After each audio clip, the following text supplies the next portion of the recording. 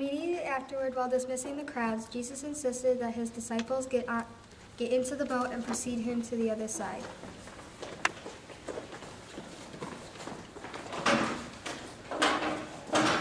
When he had sent them away, he went up to the mountain to pray, remaining there as the evening drew on. Meanwhile, the boat, already several hundred yards away from the shore, was beginning to be tossed around by the waves by a strong head of wind. After about three in the morning, the, dis- he came walking towards them on the lake. When the disciples saw him, they were terrified. It's a ghost, they said. It's a ghost. Ah. And in fear, they began to cry out.